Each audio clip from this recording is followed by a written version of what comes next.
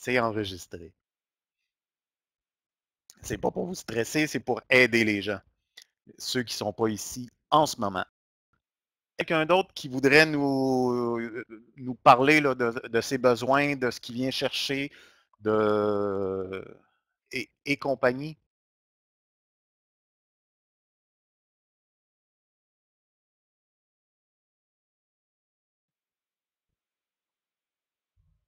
Bonjour. Bonjour.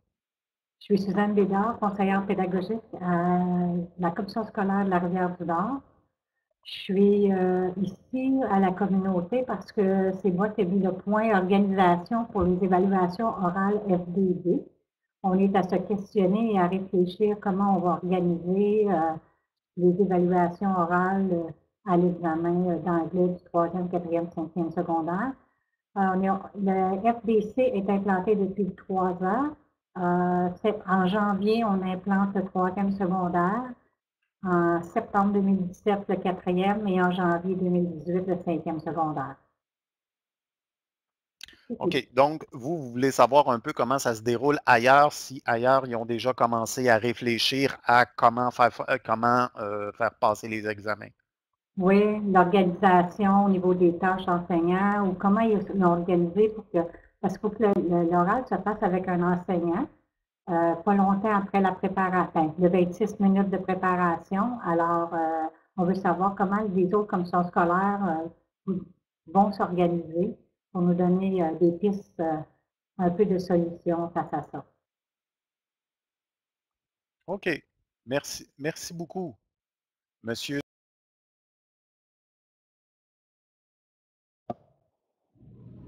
Oui, ma question s'adresse à Mme, euh, Madame Bédard, je pense. Vous nous avez donné un peu des, euh, dates pour l'implantation au niveau de, secondaire 3, de secondaire 4, de secondaire 5.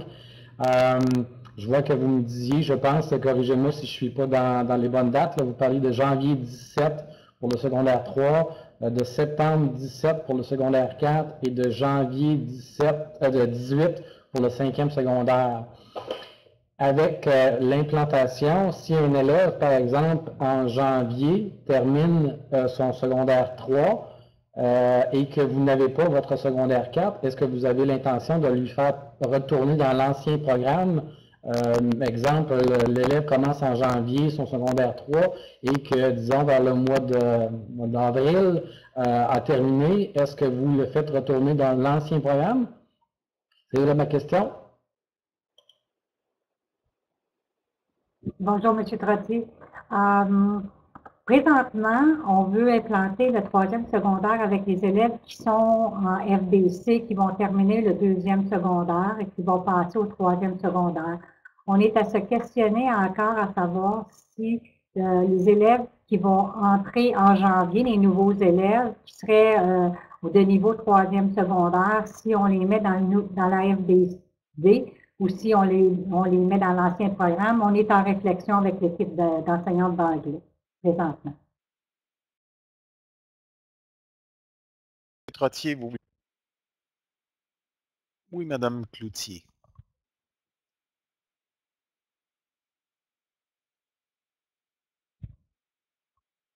Oui, bonjour. Est-ce que vous m'entendez? Oui. d'accord. Alors, euh, euh, moi, je suis conseillère pédagogique à la commission scolaire de Kamouraska rivière Mais euh, si, vous pouviez monter, pouvez-vous monter juste un petit peu le son de votre micro, s'il vous plaît? Si vous... Oui, OK. Comme ça, est-ce que ça va? Oui, c'est beaucoup mieux, merci. Je l'ai monté. D'accord. Alors, euh, c'est pour répondre à la fois à Mme Bédard et à M. Trottier. Alors, à la commission scolaire de Kamouraska, Rivière-du-Loup, je suis euh, conseillère pédagogique. On a les mêmes dates euh, d'implantation que Mme Bédard euh, présentement, ce qu'on envisage. même, je vous dirais, non, ce n'est pas vrai du tout, excusez-moi. on est déjà en troisième secondaire dans le renouveau, mais euh, ce qui, la raison pour laquelle euh, je me sentais pas euh, tout à fait dans la troisième secondaire, c'est qu'on fait quand même des changements. On est, on est dans le renouveau en troisième secondaire quand même depuis janvier 2014, mais on travaillait avec les éditions Grand-Duc. Maintenant, depuis septembre, c'est tout nouveau, même je vous dirais peut-être plus depuis début octobre, on a transféré vers Sofal avec la plateforme numérique et on a aussi transféré aux examens de BIM, aux évaluations de BIM, parce qu'auparavant, on utilisait celle de Grand-Duc aussi. Ça fait qu'on est quand même dans un certain changement en troisième secondaire. On envisage la quatrième secondaire à partir de janvier. On s'était dit septembre 2017 pour la cinquième secondaire, mais c'est sûr que euh, une, fois, partis, une fois commencé dans le renouveau, dans le nouveau programme, euh, nos élèves, après avoir fini le, secondaire 3, ils ne retourneront pas dans l'ancien, ils vont continuer euh, dans le renouveau en secondaire 4, puis ainsi de suite en secondaire 5. Nous, c'est plus des balises, si vous voulez, qu'on s'est donné pour sécuriser, sécuriser notre personnel, pour leur, donner l'idée qu'on prend ça une bouchée à la fois, puis qu'on n'y va pas trop vite là-dedans. Par contre, en formation à distance, on a déjà des élèves qui sont en cinquième secondaire dans le renouveau pédagogique. Maintenant, concernant l'évaluation des euh, productions orales, euh, au centre euh, de Rivière-du-Loup, on a trois points de service, à Rivière-du-Loup, à Saint-Pascal, puis à la Pocatière. À Rivière-du-Loup, c'est notre plus gros centre, où on a deux séances d'examen par semaine, soit le mardi matin et le vendredi matin. Alors, notre enseignante d'anglais à Rivière-du-Loup, euh, ce qu'elle fait, c'est qu'elle s'arrange dans la mesure du possible. Des fois, il y a des contraintes qui font que ce n'est pas possible, mais le plus souvent, euh, c'est euh, le mardi matin où les élèves vont en salle d'examen. Puis, elle, à son horaire, le mercredi après-midi, ça entre dans, dans ses fonctions générales. Ben, en tout cas, je ne veux pas rentrer trop dans les détails de ça parce que c'est pour moi qui gère, c'est la directrice, mais je sais que c'est reconnu à son horaire parce que la directrice est, très consciente euh, des besoins. On l'a calculé, c'est mathématique. Le temps que ça prend maintenant pour évaluer une communication orale par rapport au speaking euh, de l'ancien programme, c'est pas pareil du tout. Donc, c'est reconnu dans sa tâche le mercredi après-midi. Elle fait un blitz euh, d'évaluation en communication orale pour pas qu'il y ait un délai trop long entre la préparation en salle d'examen et la passation de l'examen comme tel. Voilà. Excellent, merci beaucoup, Monsieur Trottier. Euh, oui, là où euh, ça peut poser, euh, ben, c'est sûr que on parle de, ça, puis c'est toujours un questionnement. Chacun y va un peu de façon différente. on n'est pas trop nécessairement, on, joue un petit peu là. on a un petit peu les pieds sur des, coquilles d'œufs de, quand on, traite de ça parce que ça peut être un petit peu sensible. Là où mon, mon, mon inquiétude est, c'est pour les endroits où les personnes, le personnel est pas nécessairement du personnel euh, qui est à, qui est permanent. Euh, pour, par exemple, du personnel à tout horaire. Euh, comme ils n'ont pas de tâches et puis que ça rentre pas dans le ça rentre pas dans la partie C, le, bloc le temps, les heures complémentaires, ben dans ce cas-là, comment on s'organise et est-ce que ces heures-là sont, sont faites? Moi, je vais vous dire que euh, j'ai une collègue qui, elle, n'est pas une permanente, et puis comme elle n'est pas permanente, ben, elle fait les évaluations sur les heures payées. Euh, je trouve ça un petit peu plate pour elle qu'elle elle soit obligée de faire ça, alors que pour moi, euh, moi, je suis, bon, oui, dans mon temps complémentaire, mais même dans mon temps complémentaire, ça fait partie, j'ai une partie qui est dévolue à l'évaluation, puis c'est compris, ma direction comprend que c'est dévolu à l'évaluation. C'est juste un petit peu un petit questionnement, mais comme je vous dis, je comprends que là, on touche à de l'argent, puis quand on touche à de l'argent, c'est très sensible. Excellent, merci. Euh, quelqu'un d'autre veut... veut intervenir?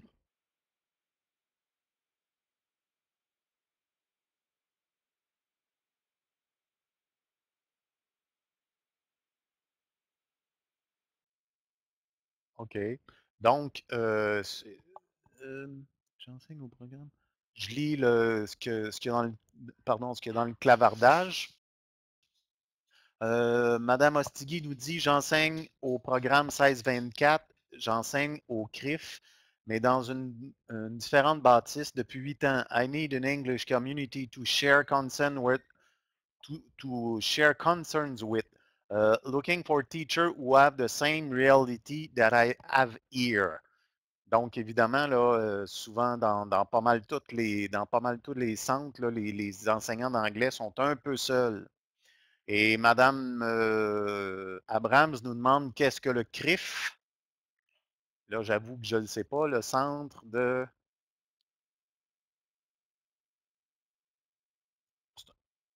C'est un centre d'adultes à Granby. Excellent. Donc, si je comprends bien, euh, est-ce que quelqu'un d'autre souhaite intervenir? Centre régional intégré de formation. Alors, on a, on a la, la, la, réponse du CRIF. Hmm, Daniel.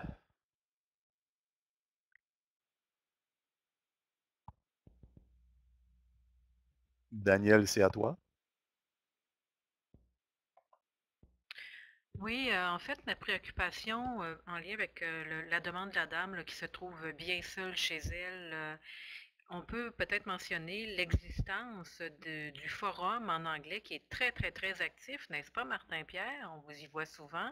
Vous devez avoir quelques badges à votre actif. donc, ça peut être un endroit, ça, pour aller poser des questions, aller faire du réseautage, en plus de participer à la communauté de pratique.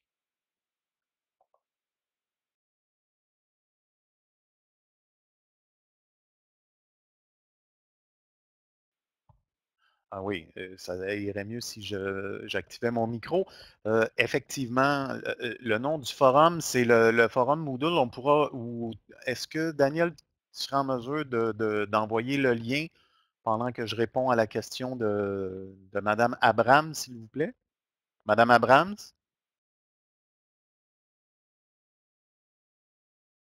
Hello? Oui. Monsieur euh, Martin Trottier, vous avez mentionné quelque chose avec l'implantation, aidez-moi. Implantation. Implantation. Merci. Implantation de secondaire 3. Euh, le son a coupé. C'est ça que nous planifions à faire à, à notre centre, de l'implanter ce janvier. Puis, j'imagine, nous allons envoyer les élèves pour secondaire 4 euh, et 5 à l'ancien programme de FBD. Euh, euh, qu'est-ce que vos, vos commentaires? J'ai manqué à cause du, du qui a coupé. I was just saying that um, I wanted to find out uh, what their intention was, if whether they wanted to start with secondary three first and then switch back to the the, the, the current program or simply go on with the new program. That's, that was just my, I was just asking a question. Um, I think, personally, what I think is we're not in a rush to sort of implement the new program. I think that once you're, you're started, I wouldn't want to see a, a, a, a, teenager or a young adult go from, for example, the new program into the old program. I think that would be not necessarily very interesting for, for the students. I think once we start implementing the programs, we have to do it all the way. It has to be from Sec 3 to Sec 5. So that's why I'm not so much in a rush to start implementing it. Uh, we're not going to implement this uh, this January. I will probably keep this this winter to start working on the on the courses themselves, and probably will wait until probably next September to start implementing and then I will be probably more ready. I will start with secondary three. My focus is really to make sure that my students don't start a, a, a, level and cannot finish it before the deadline. That's that's really what I I'm planning. The rest, I mean, it's it's not really that important. I think I think that once we start, it's better to make sure that they, they go all the way with a new program and then they don't go back to the, the, the, the, current program or the old program because that wouldn't be very interesting for them. The, the ideology, the way the evaluations are, it's so different, it wouldn't be, it wouldn't be the same. Imagine, for example, you have the new students uh, starting in secondary three where they have an oral interaction with an audio of about, if they don't change it, two or three minutes, and then they go to Sec 4 where they have a listening evaluation of 40 minutes, they will go simply go crazy. Simply go crazy with that. So I think it would be better, okay, to just go and and start applying the new program all the way. uh, imagine, for example, you have the, the, the new program, the new secondary three, where they're allowed to use uh, dictionaries, the, in bilingual dictionaries. If we go back to Sec 4, because there are ministerial exams, then they would only be allowed to use the the uh, the unilingual dictionaries. That wouldn't be fair because if they start, for example, that they will probably ask that the dictionary be be bilingual in three, four, and five. And you cannot sort of change the rules, the the administration rules, like this. Okay, for the for the former program, the the old program, you have to respect what the rules were, the administrative rules were for the for the the old program, and whatever the rules are for the new program, but you cannot sort of change the rules like this. So I think it's it, this is one of the reasons why I think it's better to start implementing and then all the way.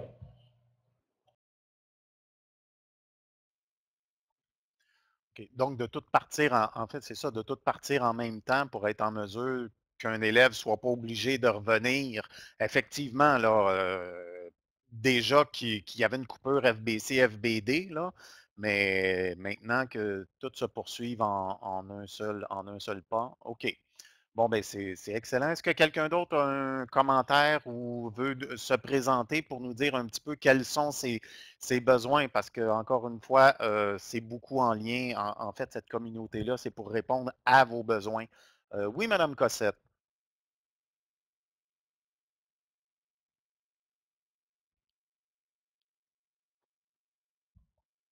Peut-être que vous avez oublié d'allumer votre micro.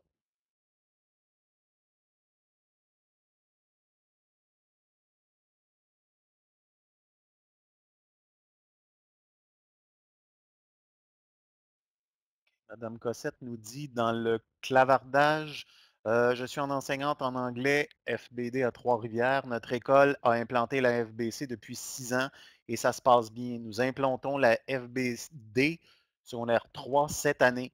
Nous avons commencé avec SOFAD, mais étant donné que ce matériel est trop ardu pour nos élèves, puis on pourra en revenir aussi, là, en ce qui a trait euh, euh, SOFAD, euh, trop ardu pour nos élèves, nous essayons Connecting Doors depuis deux semaines.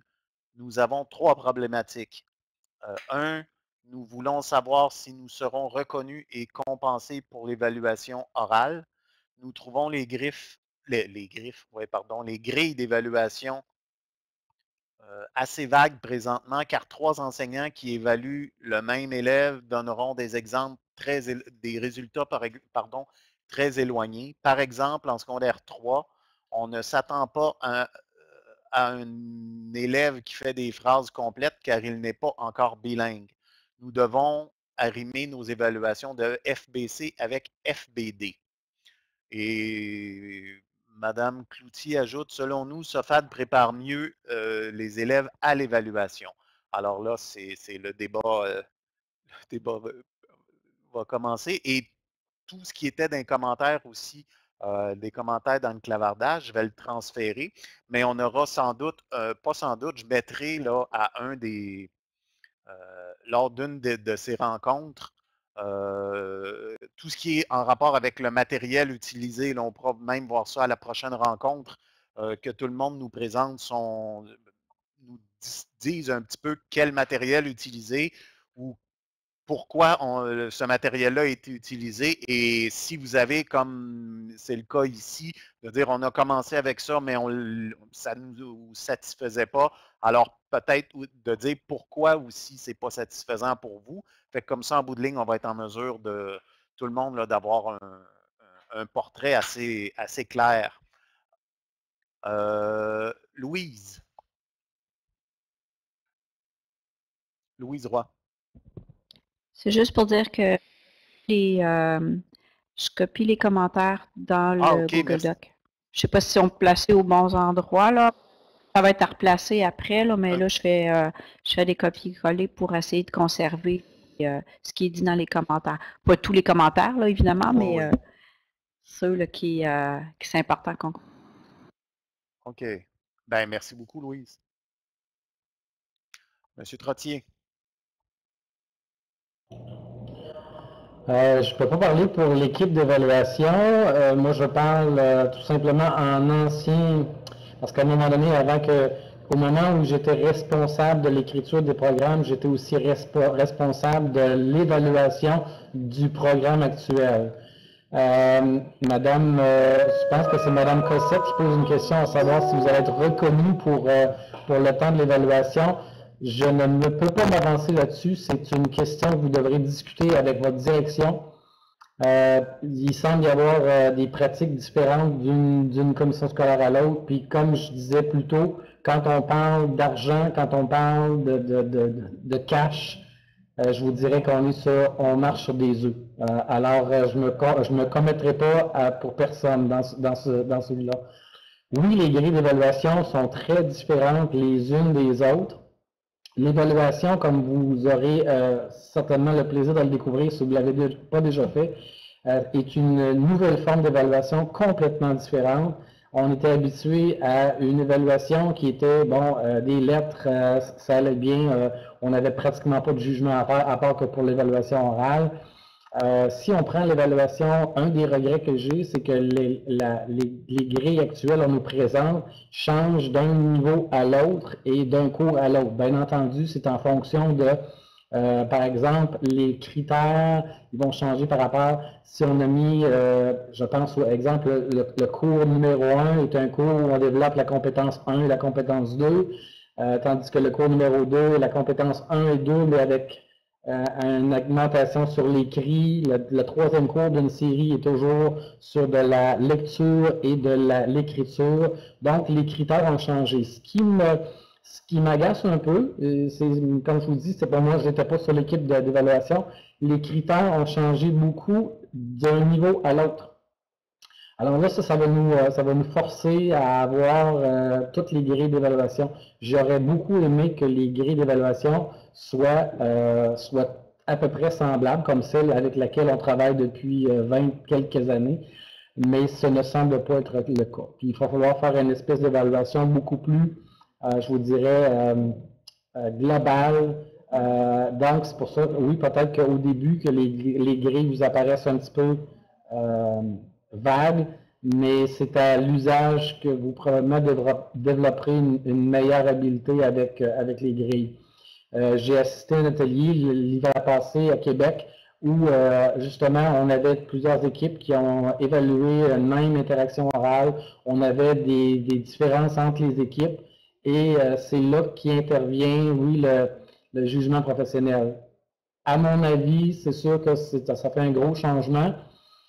Et en même temps, ça, ça, ouvre la porte très grand à, malheureusement, peut-être la contestation de résultats la pratique que j'ai déjà commencé à prendre, c'est de tout simplement enregistrer toutes les conversations téléphoniques, euh, toutes les conversations que j'ai avec les étudiants à l'aide de mon téléphone.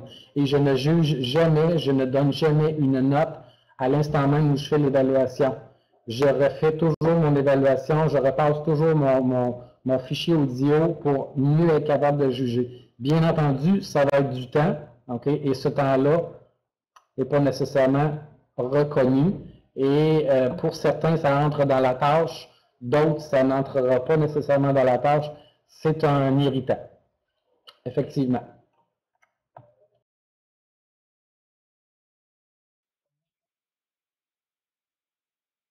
OK, merci beaucoup. Désolé, j'en ai, manqué un bout. J'ai été expulsé. Euh, c'est trop comment, mais j'en ai perdu des bouts, mais de toute façon, c'est enregistré. Madame Cossette, est-ce que vous avez encore la main levée?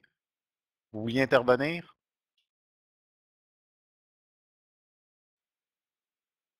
OK. Bon, euh, je, le demande une dernière fois. Est-ce que quelqu'un d'autre souhaite intervenir pour qu'on puisse avoir, savoir euh, avec qui on a affaire et peut-être évidemment, le but ultime, ça serait de pouvoir être en mesure de travailler ensemble entre les, euh, entre nos rencontres, là. Mais est-ce que quelqu'un d'autre euh, souhaite intervenir?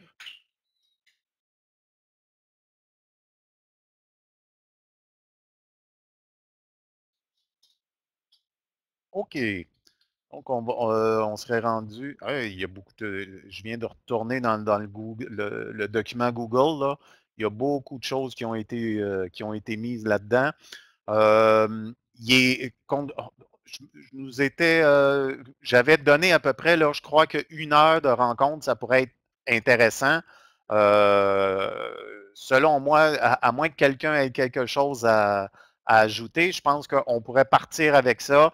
Je vais remettre ça avec l'aide de Daniel. Là, on va remettre ça, puis ceux qui veulent mettre la main à la pâte aussi, là, revoir ça un peu et faire un canevas de, rencontres avec des, thèmes pour les différentes rencontres et je vous proposerai ça avec le, le, doodle afin de vous donner euh, des, dates précises. Daniel?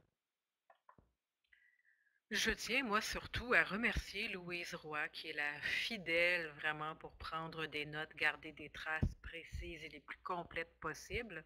J'ai totalement manqué à, ma tâche aujourd'hui, à ce chapitre-là. J'ai eu énormément de problèmes de connexion tout l'après-midi. Euh, je voulais te remercier aussi, Patrick, d'avoir pris le leadership de la communauté. Martin, pour... Euh, ton excellente contribution et la richesse de tes interventions. Ça fait longtemps que tu es là, ça aide. Et effectivement, on vous reviendra avec un, document pour lequel on aura fait un peu de ménage, mais surtout, je vous demande de vous assurer que vous avez bien porté votre nom dans les listes des personnes qui ont participé et que vous complétez les propos que Louise a fidèlement retranscrits, pris en note, euh, pour vous assurer que vos besoins sont réellement exprimés. Donc, ça, c'est vraiment important. La communauté, elle est pour vous. Alors, euh, exprimez vos besoins. S'il y en avait vraiment trop pour ce que l'on peut euh, négocier dans une seule année scolaire, euh, on vous proposera, Patrick et moi, une formule pour voir quels sont les besoins qui seront traités en priorité par un, sondage probablement. Je vous souhaite une excellente fin de journée. Je remercie tout le monde d'avoir participé. Ben, merci beaucoup, Daniel, de ton commentaire. Et effectivement, merci beaucoup, Louise, d'avoir transféré les, informations et les questionnements. Écoutez, si euh, est-ce que quelqu'un aurait un commentaire à faire avant qu'on quitte? Commentaire, témoignage? OK. Ben écoutez, dans ce cas-là, euh, je vais utiliser la liste des présences pour envoyer un doodle. Et je vais aussi l'envoyer à tous ceux, là, euh, au reste du, de ceux qui étaient l'année passée dans, le, euh, dans la communauté. Et de toute façon, vous avez, tous vos conseillers ici, FGA, vont avoir l'information et ils pourront vous, vous la remettre.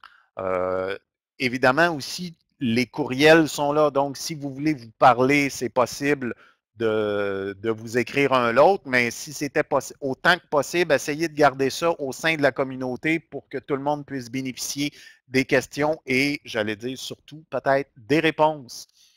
Fait que sur ce, ben, merci beaucoup. Euh, je vous, allez recevoir le doodle pour le reste de l'année. Et puis, bon, on se revoit à notre prochaine rencontre. Merci beaucoup.